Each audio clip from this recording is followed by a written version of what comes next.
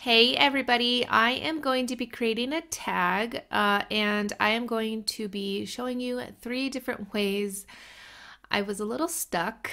I have been in a creative rut lately, so I didn't really know which way I wanted to go with this tag.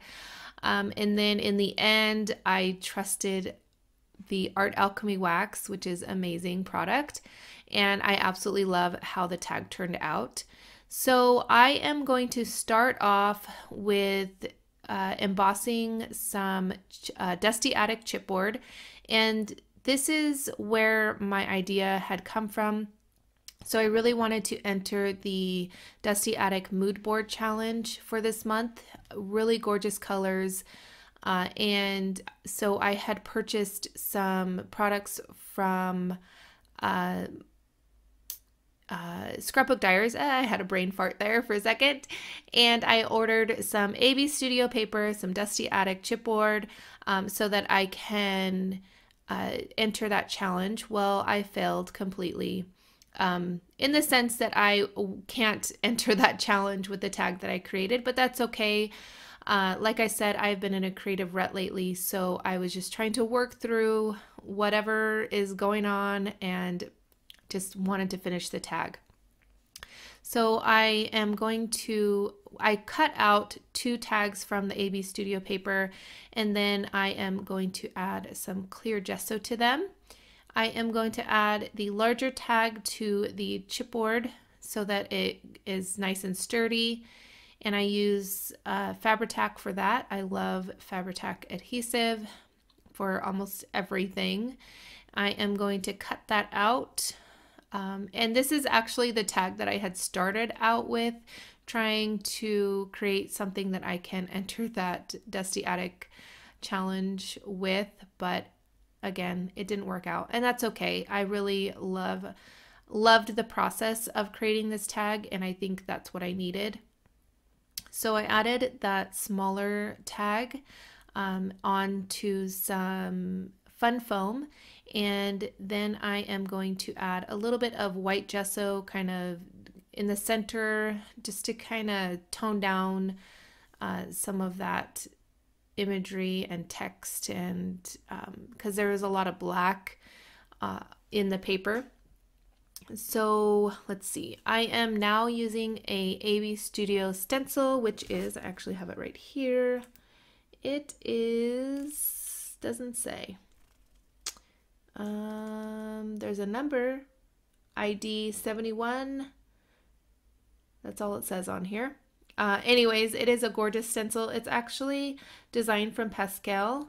Uh, she is an amazing mixed media artist. She does amazing work.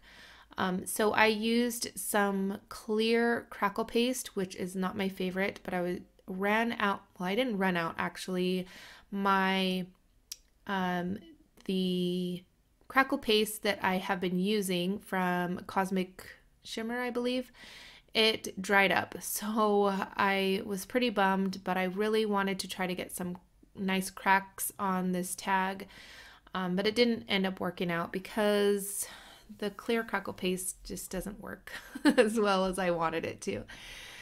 Uh, that's okay. I worked through it again, just kind of trying not to get frustrated with the process, trying to enjoy it.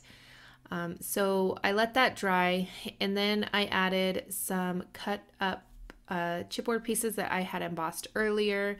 And now I'm adding the um, resin frame from the memory hardware line from Prima and a, uh, let's see, some upholstery thread, some little baubles here that I had made with some clay, another clay piece from a Prima mold, and um, a flower. Just trying to get the composition and all of the elements where I wanted them. And I had started the tag the day before this, where I'm creating right now. And then I woke up super early, um, probably about five o'clock, and it was a Saturday and I thought I need to finish this tag. I'm not leaving my desk until I finish it. So it's a weird time for me to film. So at this time, it was probably about 7 a.m. ish. And as you could see, the light is just coming in my window, even though the blinds are shut. There is a little crack because our lovely little Callie likes to go through the blinds and sit in the window, and she has separated them in my office here, so that's why you could see some of the uh, the light coming through. All right, so as I was rambling, I added some flowers and this Mitform metal piece, which I absolutely love. They had sent me some of their uh, metal pieces and I added some gesso to it just to kind of give it a cohesive look for the tag. And this is a, what I'm doing here is I am embossing a Prima metal butterfly and I absolutely love these butterflies. Um, and then I am adding some acrylic paint from Prima as well. Um, and then in the end, I decided that uh, it I didn't really like the brown. It was a little bit too too muted for me. Um, I did add some white or some picket fence distress spray uh, splatters. I cannot think this morning. Uh, forgive me. All right, let's see. So I wanted to add a little bit more color to this tag. So in the areas underneath all of the embellishments and stuff, I wanted to add a little bit of that really pretty, it's almost like a rose gold-ish brown color. I can't remember the exact color name, but I will have it linked in the description box down below. All right, now I am going to add some art stones and I only have the mega art stones and the mini art stones. I need to get my hands on some regular art stones since they are my favorite size to use. Uh, but what I do is I add some 3D matte gel or soft gel in this case where I want all of the art stones to go. And then I add a little bit more uh, gel and kind of mix it around the art stones. And then that way it kind of adheres all of it together. And again, I will say this, I've said it before, that I have learned the hard way that you need to let them dry completely, especially if you're going to be adding any more color or anything like that to the tag. So I'm going in with the mini art stones just to kind of fill in some of that space. Um, and at this point, I honestly didn't really care for the tag, but I really wanted just to finish it. And then that's when I decided, you know what? I'm going to do something different, but I do that in just a second. Uh, so I let that dry and now I'm going to add some more splatters with the Picket Fence Distress Spray, which is my absolutely absolute favorite. I cannot talk. I feel like I need to, I don't know, go take a nap or something and then do this voiceover again, but I'm already almost halfway through, so that ain't happening. You guys are going to have to bear with me. All right, so at this point, I decided I'm going to add some gesso and kind of tie everything together. Uh, hopefully, it will turn out how I like it. So, after I had finished this tag, I had um, photographed it, thinking, "Okay, this is this is done." And then I decided, you know what? I'm going to change it up and add some color. So, it's done. I actually like this one the best, which I'm kind of bummed that I had added the um, black gesso and all of that, but it's okay. I really enjoyed the process and like I said before, that is what mattered to me the most is just going back to enjoying the process and really just kind of creating for myself.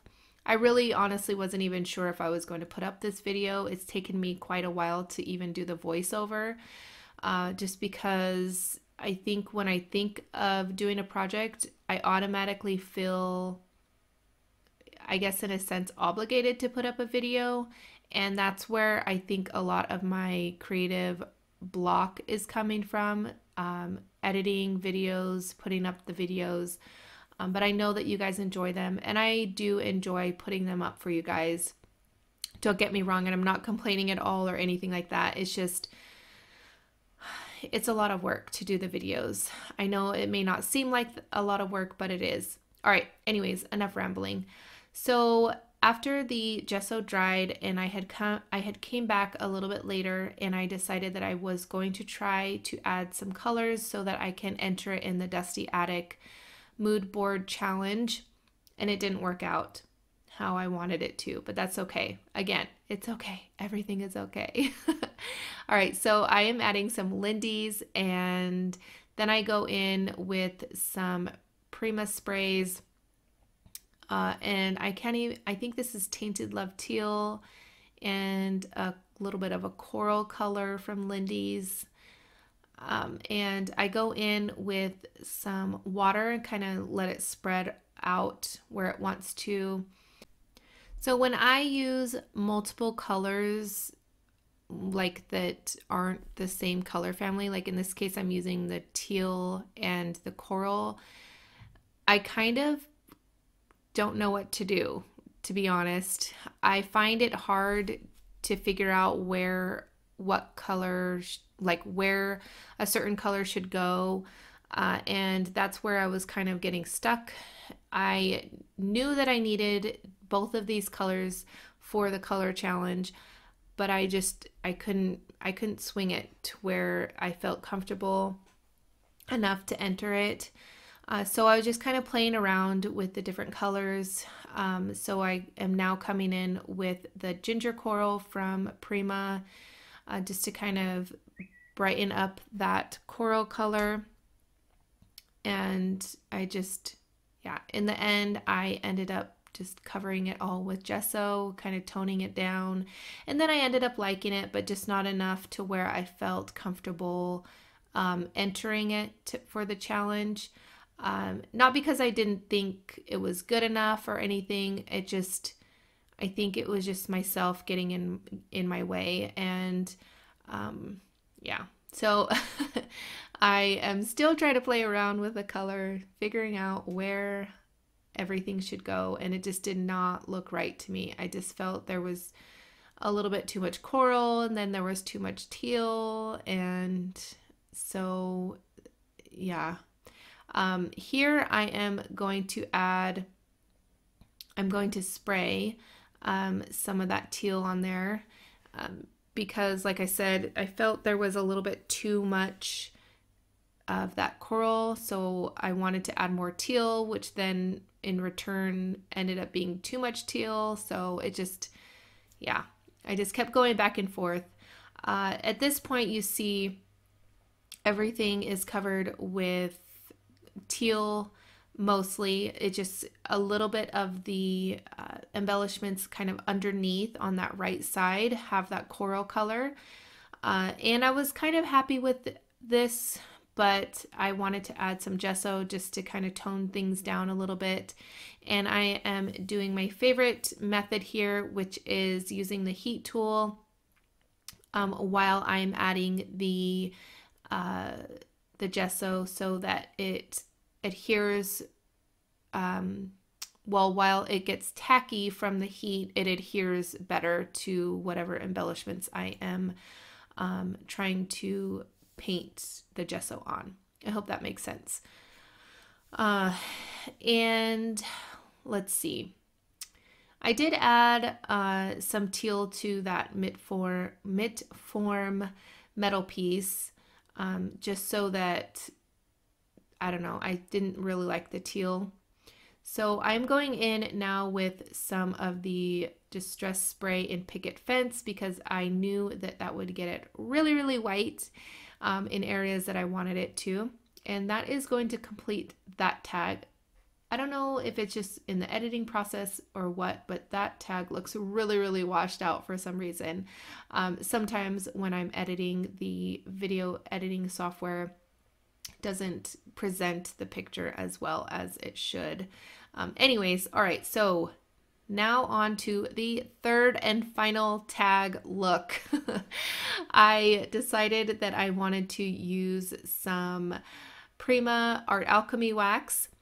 And I think in this case, if you are in a situation like I was where it's just not turning out how you want to, don't throw it away cover it with black gesso and add some art alchemy wax.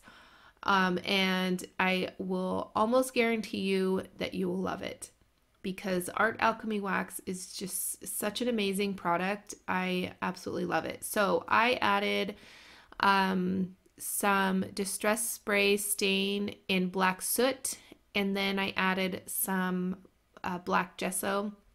So I like to add the dist- the Distress Spray Stain in the Black Soot because it helps um, get in all of those little nooks and crannies and things, especially when um, I am creating a project and I didn't anticipate adding um, the art alchemy wax, uh, like in this case. So there's lots of different layers that need um, all of that black gesso. So after that dried, I'm going in with peacock feathers, which is one of my favorites. And I have one uh, paintbrush for all of my art alchemy waxes. I don't switch brushes. I don't really clean it. If anything, I will just kind of brush it off on a paper towel. Um, and it's been working perfectly fine for me. Uh, let's see. So I am kind of, eh, let me see. Uh, not lightly brushing on and not really heavy handed um, brushing on the Art Alchemy wax, kind of in between. So I wanted to get in some of those nooks and crannies um, because there was lots of layers on this tag, um, but I didn't want it to be completely blue. I still wanted some of that black to show because that's when you really get a lot of depth and dimension on your project when you can still see some of that black or a darker color on your project when using the Art Alchemy wax. So I'm just going in with that paintbrush and just brushing brushing and more brushing. and I absolutely love this color. It is super, super pretty. All right, so this color is not peacock feathers. It is old denim. I do end up using a little bit of peacock feathers uh, in a minute here, but this one is old denim. I just wanted to make sure that I corrected myself before going any further. Um, but I didn't want to go back and change um, what the voiceover that I've already recorded uh, just so that I can get this done for you guys. All right, so I am done with the old denim. Now I'm going in with a little bit of that peacock feathers and I absolutely love how it is turning out. The colors look so gorgeous together and I'm trying to work a little bit fast so that I can blend them a little bit together. Um, I found in the end, after the tag was complete, and I did this off camera, I used my heat tool to kind of heat up the wax and it ended up melting um, the colors together, which look really, really amazing. Um, it just helps it kind of blend a little bit better together. It doesn't completely like mix all the colors together or melt the wax 100%. It just warms it up just enough to where it gets a little bit more creamy and then it kind of just um, melts together, if that makes sense. So after I am done with peacock feathers, I am going to go in with old silver and I absolutely love how this tag turned out.